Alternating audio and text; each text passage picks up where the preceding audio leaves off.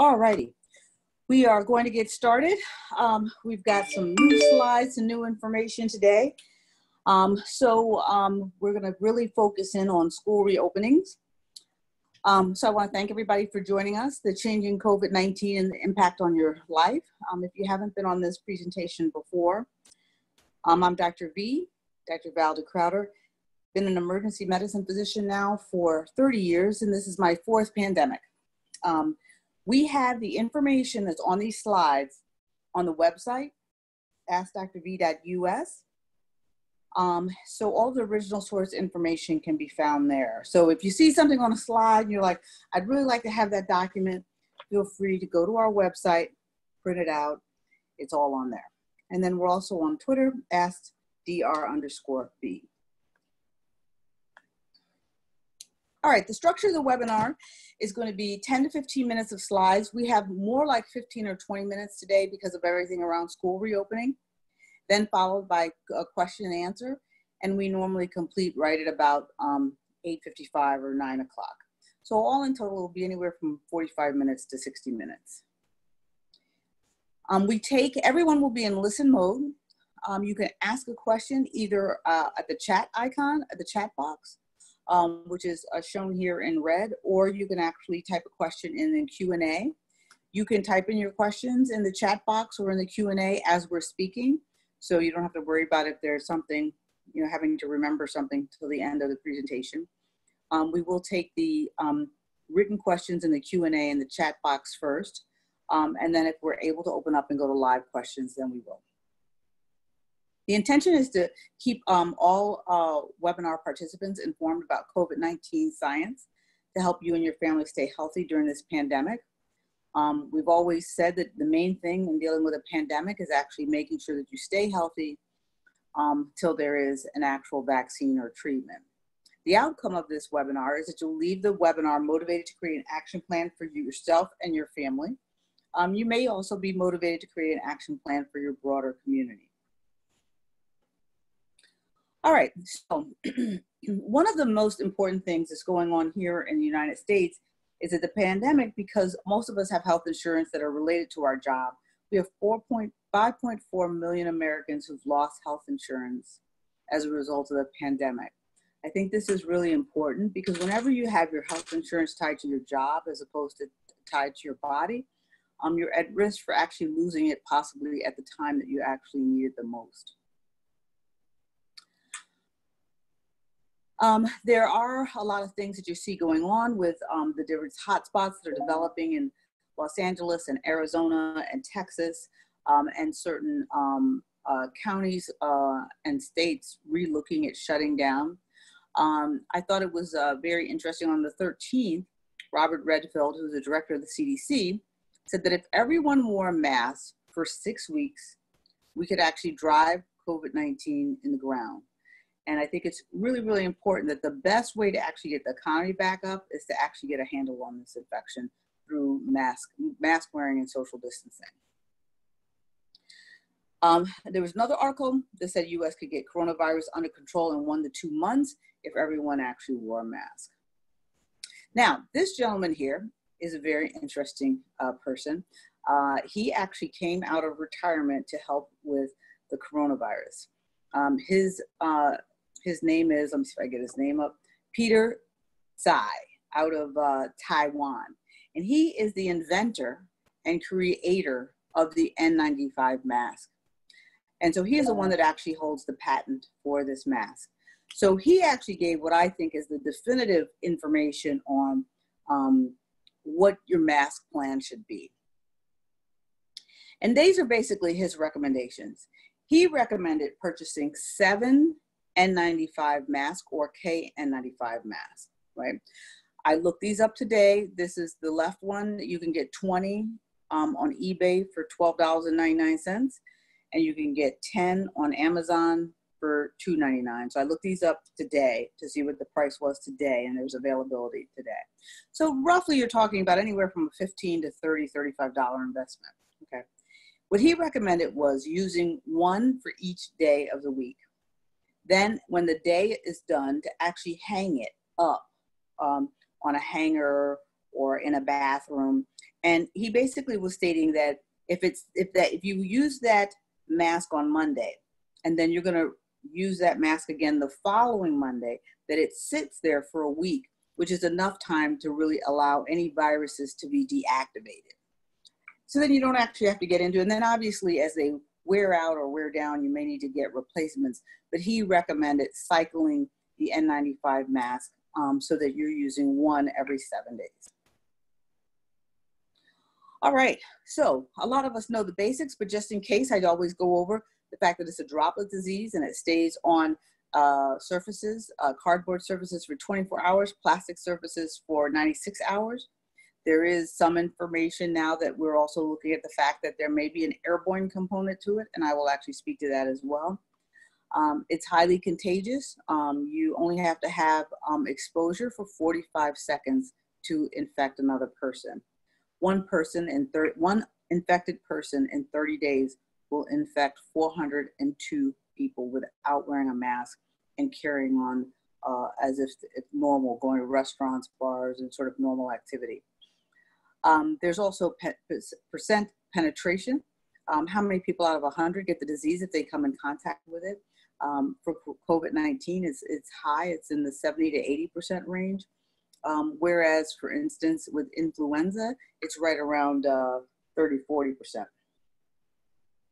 Droplet versus airborne is something that you're hearing about a lot. Um, originally, when um, COVID-19 was discovered, it was, it was, found to be a larger, uh, a larger um, uh, virus that um, was in droplets. Um, and droplets don't really fall that far from you. They fall about three feet from you. So if you remember, some of the initial recommendation was you only had to be three feet away. Now they, you know, now they're saying six feet or more. Um, and that's because there does seem to be an airborne component to it. So um, I just kind of want to show a couple of different examples. When we talk about a droplet disease, um, the ones that we really think about are Ebola, pertussis, and mumps. When you talk about an airborne disease, um, you're really talking about tuberculosis or measles. So in a diagram, if somebody coughed, if it was a droplet disease, as you can see, it would drop less than three feet.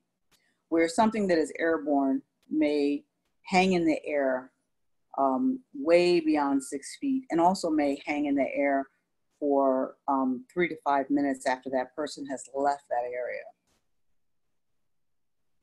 So we don't know yet if it's a droplet disease that's spread by micro droplets that then act like they're airborne, or is it somehow or another that um, COVID-19 is becoming aerosolized either with heavy breathing or certain actions like playing instruments. Um, we know that it can become uh, airborne with the use of a nebulizer machine. Um, and we had spoken before on this presentation about how it's important to avoid a nebulizer at all, if at all possible, and instead to use an inhaler uh, with a spacer, which is shown here in the diagram to the right. Um, if you must use a nebulizer, you want it to be outside on a porch or a deck, or maybe in a garage with the garage door open, something like that, but you definitely don't want to use it inside the home. We are not using them at all in the hospital. We're not using them in the emergency department. We're not using them in the ICU. Um, we're not using any um, nebulization um, because of the possibility that people could be COVID-19 positive and then aerosolize it. This is a study that's coming out in August. Um, this was one of the studies that actually um, led to uh, people thinking that this was airborne. Um, it was documented airborne transmission related to a fitness dance class where 112 people were actually um, infected during a 20 uh, during a 24 day period of time, um, and this was aerosolation due to heavy breathing associated with the exercise dance class.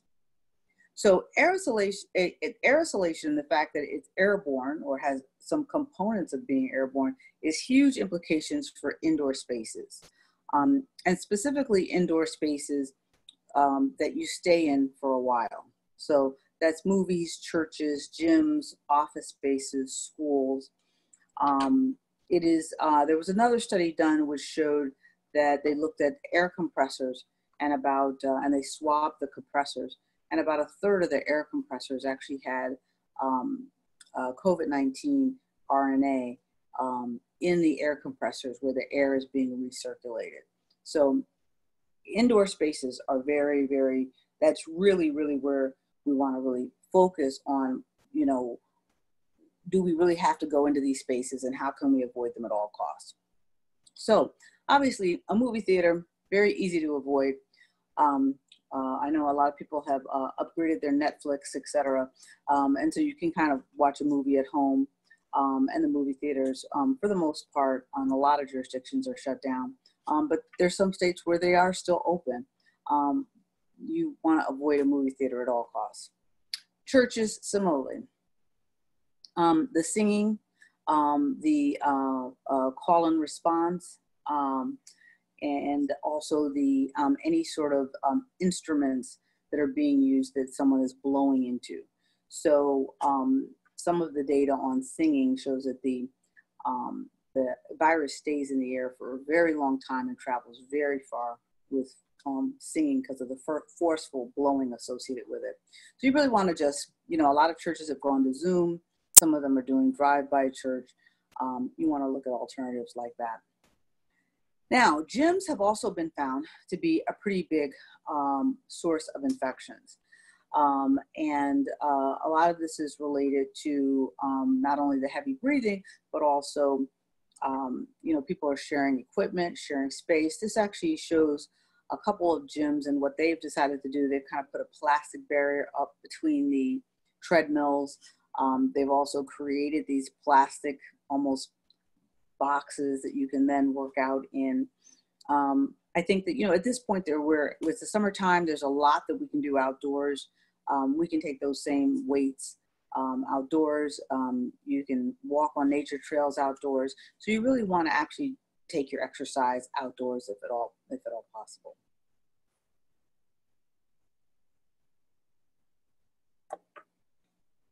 Office spaces.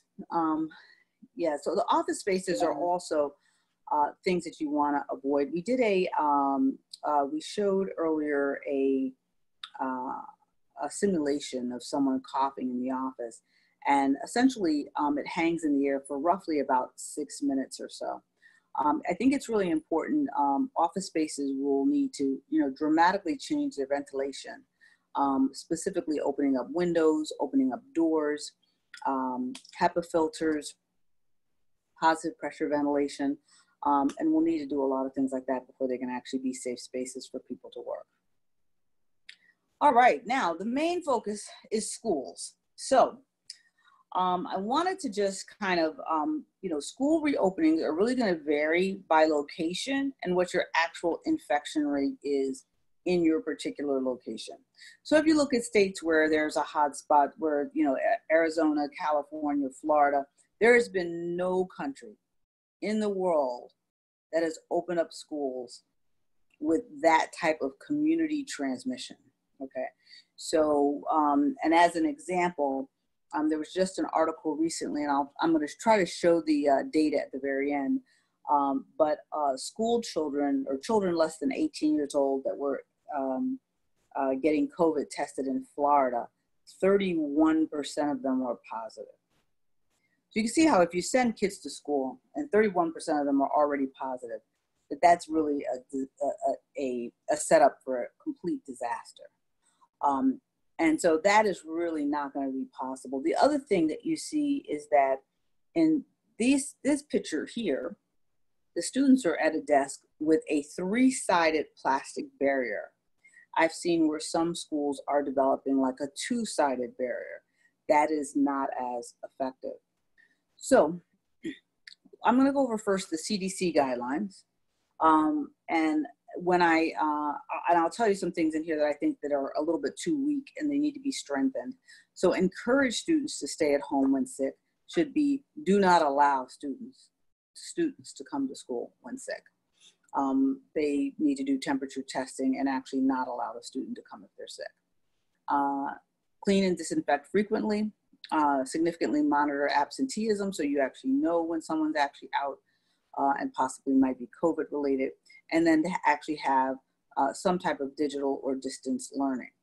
Um, so these, this is very bare bones from the CDC. What actually, uh, I think, did a more thorough evaluation was the American Academy of Pediatrics. Did a very, very thorough evaluation on this. Um, and again, this is on the website, and the and the, the this is on our website, and then also the original source is sourced down here at the bottom. But specifically, they looked at education, nutrition, student with disabilities, special populations, annual school health requirements, athletics, uh, mental health, um, isolation, uh, uh, isolation measures, and group size.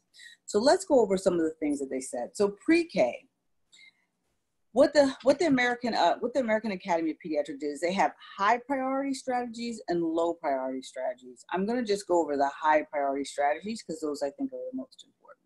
So for pre-K, um, they um, look to um, create sort of cohorts where you stay with that cohort throughout the day, right? So for instance, I may wind up, I go to school with that cohort, I go to lunch with that cohort, and I also go to out to play with that same cohort. And that cohort could be a group that is 10 to 15 uh, kids, right? And I don't mix with another cohort right? The other thing they looked at in pre-K was utilizing outdoor spaces and limiting unnecessary visitors in the building. When you look at elementary school, um, they started looking at the, um, the children should wear face coverings um, when, um, when they, as long as they don't have a medical reason not to, um, and that the desks should be three to six feet apart when feasible. Um, and also have the same concept of a cohort that is 10 to 15 kids that then follow each other throughout the day doing all activities together and not crossing contact between cohorts. Um, and then also utilizing outdoor spaces whenever possible. Secondary school. Secondary school, um, they, um, uh, they also have same thing, universal facial coverings. Um, and um, they uh, also have everything around the desk being three to six uh, feet apart. Um, they also want to uh, have the students in cohorts. They particularly want to avoid singing and ex ex exercise. So things that produce increased exhalation. So choir practice would be a no. Um, any sort of team sports would be a no. Special education, basically this was a lot of writing, but what they basically said was special education needs to be determined on a case by case basis um, because some, some students that are in special education or have a disability um, may have other comorbidities or may have reasons um, where either the lack of socialization or the use of a mask may be prohibitive. So they really felt like for special education, it should be done on a case by case basis. Alrighty. Um, so now, um, with as far as riding on a bus, they really encourage that um, that uh, the bus system um, uh, be minimized to only those students who have to use it, and that really there are there should be alternative modes of transportation for the students. So whether or not their parents are bringing them, or maybe two or three students are um, are carpooling. Um, that's basically, um, they really recommended minimizing um, bus or transportation use. Then they also, um, again, stuck with this whole idea of cohorts, right? And assign the seats by cohorts. So if people are going to be on the bus, they should be sitting with those same 10 people that they're going to be going through the rest of the day with. Um, and have um, tape that marks off where students should sit and where they can cannot sit um, in order to maintain um, six feet distance uh, from each other. Um, they said to minimize the number of people on a bus. Any adults who do not need to be on the bus should not be on the bus and to keep the windows of the bus open as long as weather allows. Hallways. Um, hallways in the school that they um, recommended, I've seen this in stores, where you'll have one hallway and it's a one directional hallway. So this hallway is going in one direction and another hallway is going in another direction. Um, again, using tape on the floors um, to um, keep the direction, and that that limits people from bumping into each other if, if the direction is all in, in one direction. Um, they also looked at staggering the class periods, which we had talked about here, um, where you know possibly maybe students come in in a, in a particular cohort and they're in school from 7 to 7 a.m. to to noon, and then maybe another group is in school from 1 to 5 p.m. Um, assigning lockers by cohorts. So again, if I go to my locker, I'm still only around the people that are in my cohort, right? So um, they uh, talk here about um, playgrounds. Um, they again, they said the emphasis should be on playgrounds. Again, I'm going out to play with my particular cohort. Um, outdoor transmission for the virus is much much lower than indoor transmission. So um, they felt that uh, limiting the size of the groups playing and limiting them to the cohort would really be sufficient and adequate. Meals in cafeteria. Um, so they um, serving meals is uh, an area where um, there's a lot of kids who get the, get their get their meals from school um, and are part of a school lunch program, um, and they get breakfast and lunch. Um, so this is really an important area. Um, again, they talk about having the kids getting their meals in the cohorts. So again, I'm not, uh, if you're not in my cohort, then I'm really not seeing you at all during lunch period. Minimizing the amount of time that I'm actually in the lunch period, in the lunch, uh, in the lunch area or the cafeteria area.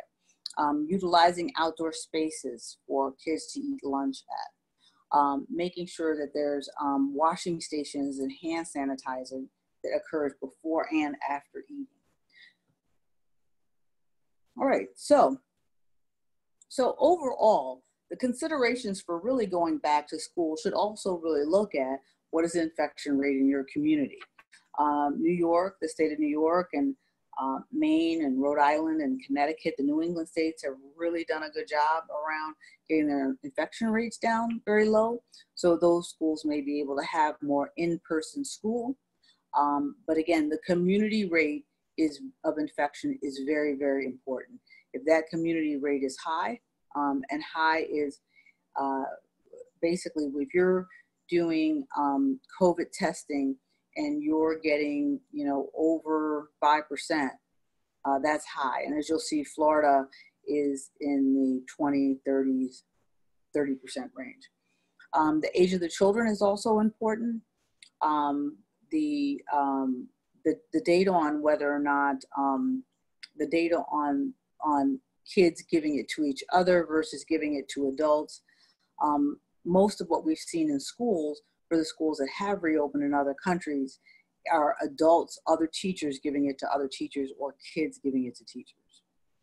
Um, then you also have to consider, um, are the children a vector, right? So do they live in a multi-generational household? Will they bring it back to an elderly aunt or uncle or grandparent? So those are all things to kind of consider as you actually look at what to do for yourself and your family.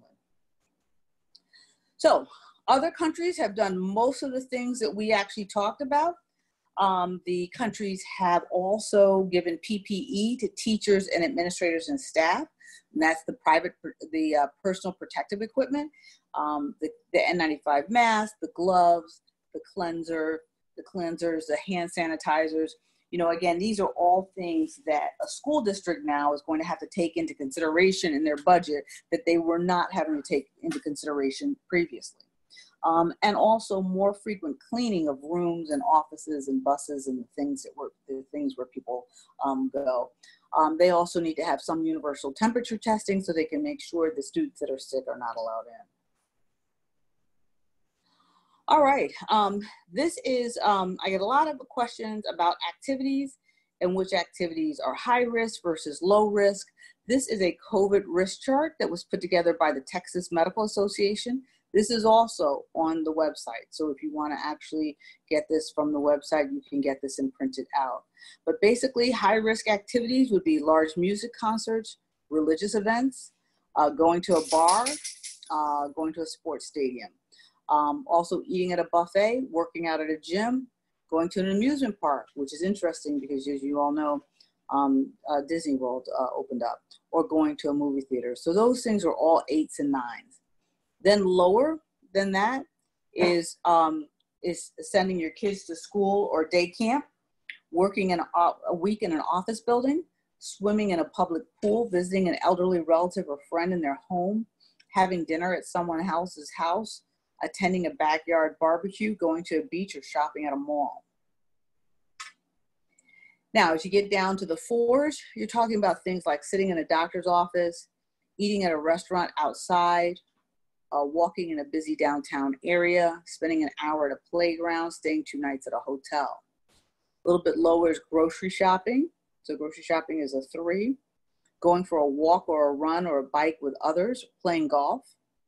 Um, two is um, going to a restaurant and getting takeout, pumping gas, playing tennis, or going camping. Um, and I think they put this in here just so that people would really understand what a one is. So if you open up your mail in your house, that's a one. All right, so a little bit of COVID good news. Um, this is very, very important. Um, this is basically a um, a home saliva coronavirus test. Um, these are now being tested and studied. Um, think of this almost like a home pregnancy test or maybe even checking your blood sugar at home, like a diet, similar to how a diabetic would do. And so the strip goes in there and you put some saliva. Some of them have, you know, you some of them you're spitting into something, but you put your saliva there and it basically tells you if you're COVID uh, negative or positive. Um, and they're looking at using these strips so that people actually um, get the printout and then they get the printout and that then allows them maybe to go see a play that day or to go to the movies that day etc um, so and these uh, these uh, rapid tests are are cheap. They're in the you know i think they're in the these these kits are in the like five to ten dollar range um, and then you refill the strips. So it's very interesting to see what sort of innovation is coming out um, that possibly people may be able to do their own home COVID test whenever they want to and how how free how however at whatever frequency they would like to, um, and that really would be um, that really would be a game changer for this pandemic. All right, so I'm going to um, switch over now to Q and A. Um, actually, I wanted to show one thing real quickly before I did that because I had pulled up. This is this is the state information for Florida, and I thought that this was actually really important because if you see here, these are all the counties, and these are the tables showing the testing of Florida residents less than 18 years old. And this shows in the far right hand the um, on these two tables the percent positive. So Alachua County is 14.4, Baker is 12.9, Bay County is 35.5. And as you see, Lee County on the other side, 46.3. That means half the people tested less than 18 were actually coming back positive. So these numbers are very, very high. Um, and the regular adult population in Florida has a positive rate of 11% and less than 18 is having a positive rate of 31%. So that is what is happening there in uh, Florida. Alrighty, so I am going to um, stop the broadcast here and go back to uh, the Zoom and we can, uh, all right, wonderful. If you have any questions or you have anything that you'd um, like to ask, you can put it in the chat box. And um, on just a second. Uh, Ron, I'm going to promote you to host so you can uh, pro promote you to panelist so you can help me with the um, so you can help me with the chat box and the Q&A. All right, so do we have anybody that has any questions? You can also put your hand up if you want to be taken off mute and ask a question. We have enough people that we can actually take some folks off mute if people have a question that they want to ask.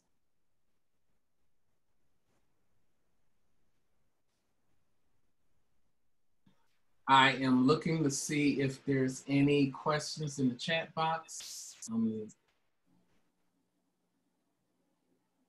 okay, there's one question. All right. All right. Um, Valerie would like to know what is the difference between N95 masks with and without the respirators? Yeah, so the mask with the respirators that you see on the sides, those are actually what we call N100 masks. So when you see the respirators, the two respirators on the side, those are what we call N100 or respirator masks. Um, and they block out 100% of the particles. Um, 100%. So that is a, that's a, uh, a res- like a respirator mask. So an N95 or KN95, both of which are the same, right? So an N95 or KN95, they block out 95% of the particles.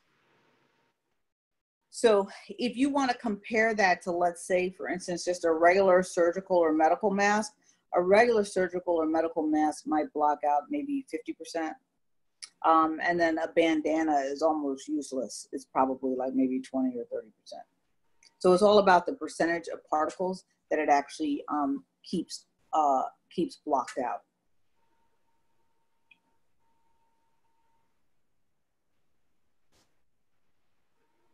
All right, looking in the chat box, um, there's a couple more questions.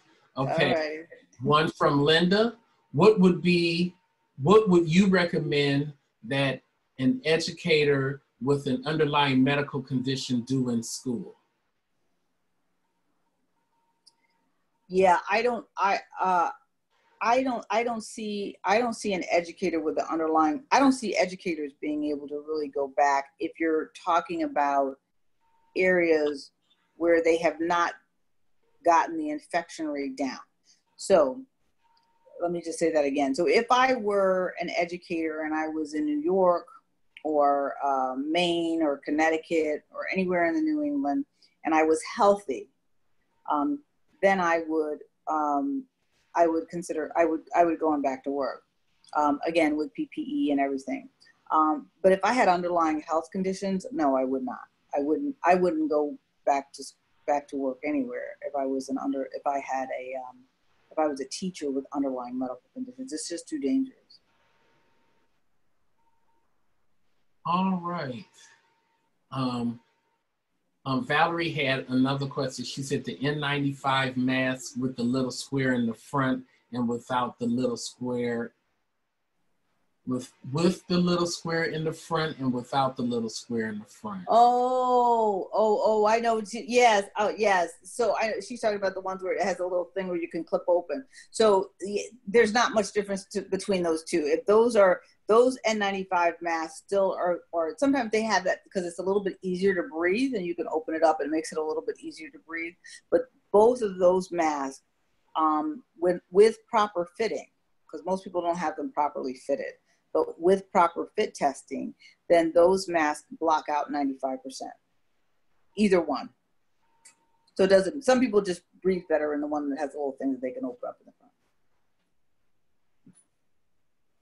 All right.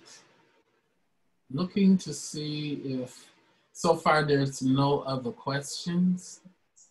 Oh, another one just popped in. All right. Okay. Oh, this is a comment from Gary. Um, comments regarding types of masks. The side units are cartridges. The cartridges are, are color coded according to what they filter out. Examples, black, fumes, purple slash magenta, particulates, AKA HEPA, higher filtration, yellow, acid fumes. Thank you, Gary. He is our environmentalist in-house specialist. he is. that's that's good to know. Safety engineer. Yeah. Okay. Yes, exactly. Exactly. so um, another question um, from Linda: Do you need FDA approved um, N95 masks? I guess because you know there was that talk about N95 versus K95. Oh yeah, yeah, so you know that's so um, the no, so that's a good question. I don't know if the FDA ever approved the KN95 mask. I don't believe they did. I believe the KN95 mask. So FDA approval is really only required for a hospital setting. They just want to make sure that products that have been FDA approved are actually used in a hospital setting. But if you use an, an N95 or a KN95 mask that hasn't been FDA approved for regular use, you you would be fine. That's much, much better than using a, a surgical mask or a bandana or a scarf or anything like that. I'm kind of curious. What are what are people planning to do with their children in September? Has anyone created a um, alternative plan?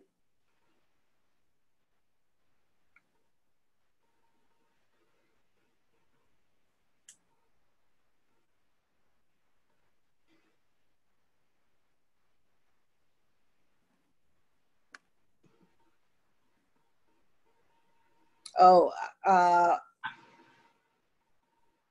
just before somebody answered that, I actually had another question, which was, um, uh, okay, which was um, someone wanted to know what is the damage from hospitals being told to bypass the CDC and instead actually report the coronavirus data to Health and Human Services.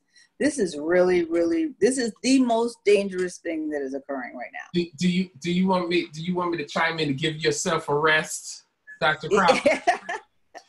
so the danger in that is that you know what we what we worry about as healthcare professionals is that um, that the data could be skewed and politicized.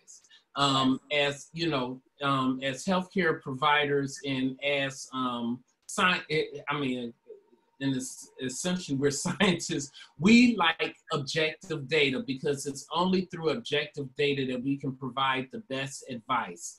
So that is really what a lot of um, physicians and public health um, officials are concerned about is that by shifting the information being done um, provided to the CDC, um, to the CDC, which theoretically is more objective than HHS, which is which has a cabinet appointment, um, we can get more objective data. So that's what our concern. That's what our concerns are. Is that we may not get accurate information to be able to provide the best information to people. And, and the other thing is that they may also limit the type of data that they actually give out. So, you know, right now you're getting all sorts of data. We're getting, you know, um, um, um, uh, positivity rate data. We're getting uh, information on how many ICU beds are available, um, death rates. They could decide that they're, you know, not going to report certain certain data to the public. Um, yeah, no, it's very very dangerous because um, uh, states will then have states will have. So I think what they've decided to do, or what I've what I've heard, is a lot of hospitals are going to report to their state, and then the states are going to report to HHS. But that still would allow the state then to report to the news or report to um, John Hopkins to maintain the John Hopkins map, right? So somebody wouldn't have to actually call, you know, 3,000 hospitals in the country. They would have to call 52 states every day to get the numbers. Um, so it is making it a little bit harder. Um, but yeah, it's very it's very dangerous. It's actually very dangerous, and especially with with with a president that we know is very focused on numbers and how numbers make him look, right? Mm-hmm. So it's actually really dangerous. Um, all right, I saw somebody put in the chat box that they're homeschooling their they're homeschooling their kids. and and we have we have quite a few questions, um, Valda. Um, yes. One question um, from Leona is what precautions to take in hair salon if hairstylist wears regular mask and does not wear the N95 slash K KN95 mask? Yeah, so so you know, I went and got my hair done, and, and um, one of my uh, one of my shampoo person had on a regular mask, but she also had on a face shield. Um, now I wasn't sure what sort of mask my hairstylist was going to have, so I came with an N95 mask to give to her um, when I got there, she had already um, she already had an N95 mask. So um, uh, you know, I'm telling people, you know, is, you know, since you can now buy, you know, 20 of them, you can, you know, buy 20 N95 masks for, you know, $30 or so, I'm telling people to really purchase them and actually, you know, if you're going to do something like get your hair done, you're not sure what that person has, bring them one just in case, right? Um, and make that a requirement for yourself. But I think it is important. I, I've really been encouraging everybody to upgrade to N95 masks. They're available now. Um, I know in my neighborhood, I have a little Korean market that's down the street. I can get them uh, whenever I want to. Um, can you reuse them was the next question. So there is a version of the N95 mask that um, can be used up to 20 times. Um, and it's about six or seven dollars. Um, and it can be used 20 times. And again, if you buy seven of them, then you can rotate them um, the way the inventor of the N95 mask suggested. I think that's a very good way of doing things. And Valda, I can also give the experience of um, um, of my mom, who's a senior and mm-hmm. um, going to the beauty shop. So um, her hairstylist, who happens to be a friend of mine, in their in their shop, there she purchased N95 masks and has and she has all her um, clients purchase one from her for five dollars. And then what she did was she keeps the mask so when they come for their appointment, they may have on a regular mask when they come for their appointment, but she gives them the K. She meets them at the door with the K95 mask, and they have to K and they have to K95 or like mask N95 when they're coming in. When right. getting your head done. Right. Yeah. All right. Um, all right. Then there was a question about um, you want to read that one? It's kind of lengthy one um, about dance classes. Yes. Um, um, would you give some insight on dance activities, classes, rehearsals, and performances outdoors? If following the social distancing protocols, sanitizing stations, and masks, are dance activities recommended? Dancers and are essential workers due to the to mental and physical wellness. Home Yeah, yeah. Um, so, um, so dancing so again, as long as you're able to maintain the six feet dance, uh, six feet apart, right? Dancing outdoors would be okay. The audience would also need to be. The audience though should also be, you know, probably you know six feet or more from the stage, right?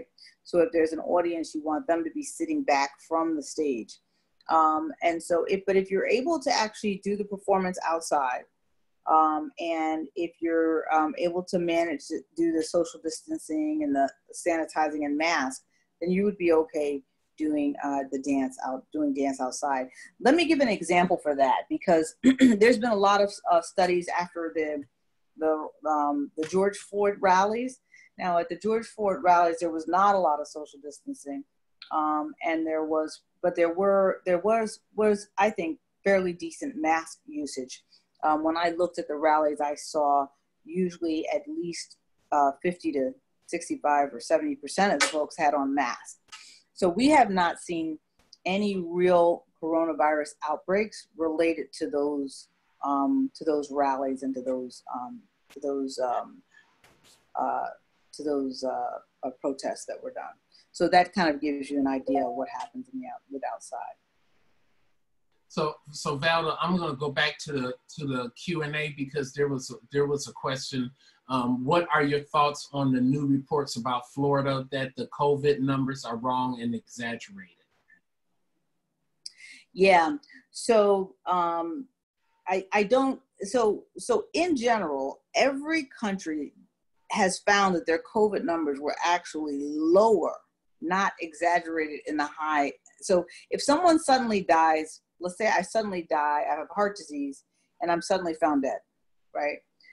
When you go back, a, a high percentage of those sudden deaths that you might have attributed to heart disease wound up actually being COVID deaths. So I don't think there's an exaggeration of the numbers. If anything, there might be an underreporting of the numbers. Um, so what I'm actually seeing and what I'm actually seeing in Florida and the and the positive in the chart with the positivity rates that I'm that I that I was seeing um, I mean, those are the results from the actual test. So I don't think they're I don't think they're exaggerated at all. If anything, I think they might be on the low side.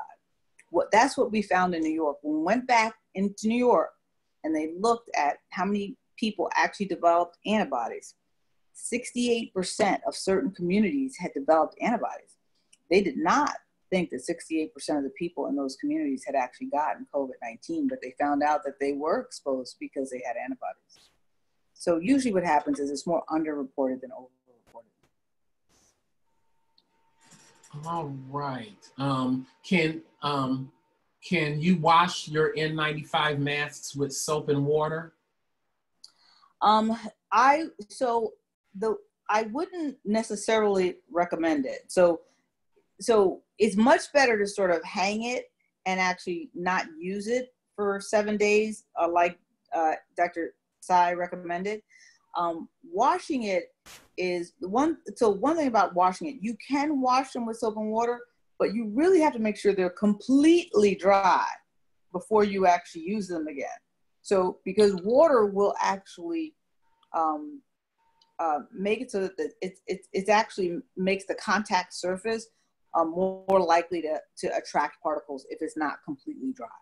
So I believe that's probably why the um, inventor actually wanted people to just hang them for seven days and, and use them again after seven days. So I personally, rather than washing mine, I will spray mine with Clorox and so, then just let it sit, let it air dry. So Gary had another comment, which is, which is good. He said more about masks. The P100 tight fitting rubber seal will provide a protection factor of 50, 10 to 50. If you want to purchase a great mask, get a PAPR power air purified respirator. The breathing um, zone face covering that continuously blows positive air pressure through via filter cartridges. Now he said that he said that they're kind of pricey. He has three dollar signs. How much uh, roughly? Can you can you can you can you ask him roughly? Because I purchased a silicone uh, N100 respirator mask. Um, now mine was um, I think mine was like a hundred dollars. Um, what is pricey? I, am kind of curious as to what what what he says they're they're um, what are they going for? Because you can actually breathe better out of those masks. They protect you more, and it's easier to breathe in them. Um, he said, "Oh, he said the uh, the Clean Space Two PAPR half mask is five hundred and twenty dollars." Yeah, yeah. So that's that's that's upper level there. All right. Um, okay. Yep we um, have some more questions. This is we have some good questions this evening. I know, I know.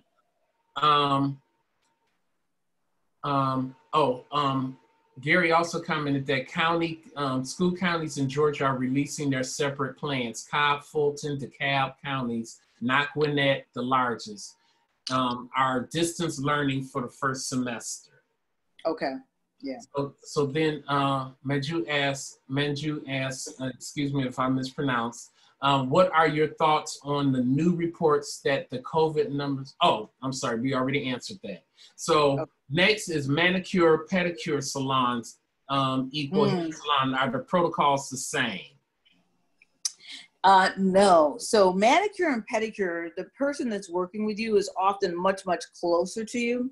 So what I've seen people use, and I, and I should maybe add a picture into the slide, is you know you sit and get your manicure done. That people actually there's a there's something like a plastic barrier that you then and you put your and it has a slot and you put your hands through. So your hands are over there with the with the manicurist, but there's a plastic barrier in between you. Um, and that's what I've actually seen, plus using obviously a mask.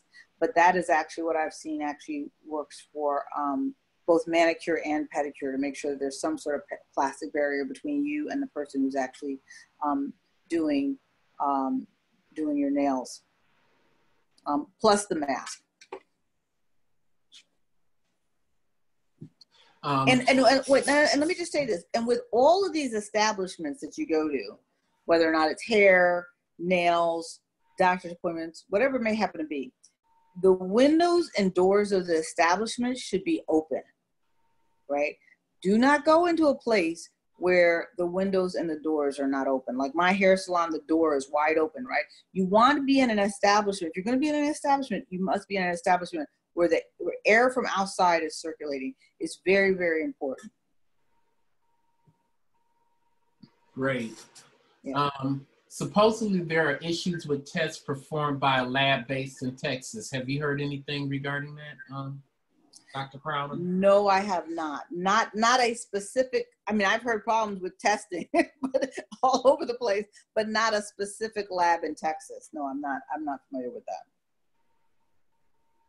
And um, how best can a person manage fear and or anger during this COVID-19 pandemic? Mm. This is an excellent question. Yeah. How to avoid feeling depressed and or overwhelmed, how to maintain or obtain some form of mental health during this COVID-19 situation. You know what? That's actually really important. And I'm going to add, I'm, I'm going to add several, I'm going to, you, she's actually making me think I'm going to add some slides regarding that.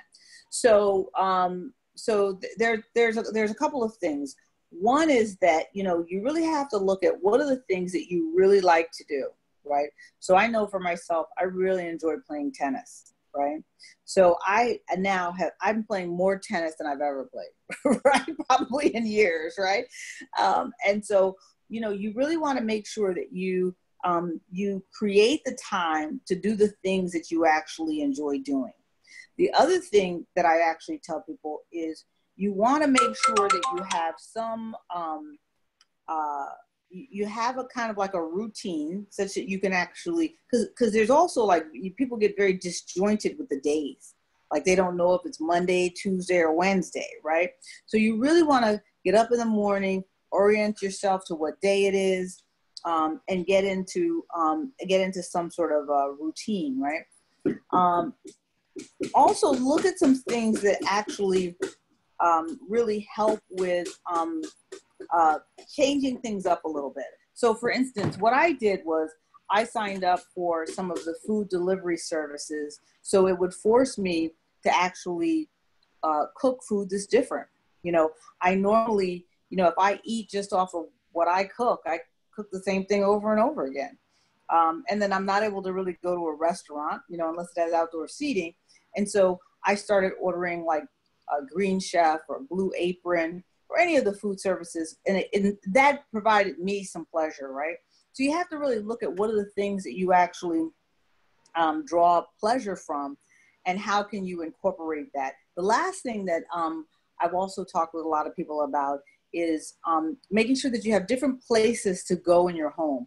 So you're not working, you know, the dinner table sometimes has become now the work office and is also the dinner table. You know, you want to try to create, well, where's a separate space that I actually do my work? And then there's a separate space over here where I relax. Um, maybe um, some people are, you know, really fixing up their backyard, so they really have a place to relax in their backyard. So look at creating different spaces inside your home that you can kind of um, go to. Um, those things make a really big difference as far as your mental health. And and I can I can just um, provide my own anecdotes. Um, I um, fixed up my pat my both my front and back patios so I can have I can sit in the front or I could go in the back or I could be in the house. Um, in terms of exercising, I um, I walk. My goal is ten thousand steps a day. I try to go for my walk every day, or or I try to walk and ride my bike. Um, I try to do some some some um, weights. Um, but I try to get out every day, and I actually started that back at the beginning of the lock of the shutdown, and I was able to avoid the COVID fifteen. I'm glad you were. I don't know. I, I think I might have minimized it. Maybe mine is the COVID five. I actually lost 14 pounds. Oh, okay, great, oh, yeah. great. um, so yeah. Yeah, we have um. There's um one question how can how do you make sure that your kn95 fits properly on your face? Ah okay. So okay so there is a um so okay there is a fit testing procedure that is um uh, that is done in a hospital setting for hospital providers. Now um, it, it's an apparatus that you actually get it and then you put it in and they pipe in various uh, things for you to smell. And if you can smell them, then it doesn't fit as well than if you can't smell it, right? So, given that at home we don't have any of those things, um, one of the things that we did earlier, and we could always do this again, but people can do this at home. You can get a couple of different N95 masks, right? And then what you can do is you can either either spray perfume or you can use something like some off, like a bug spray, and see when do you smell it more or when do you smell it the least, right? So you don't want to be able to smell something with this mask on, or you don't want to smell that much with the mask on. So um, that is how you would actually tell the difference between one that doesn't fit well and one that does fit well. Is basically if you can smell or not.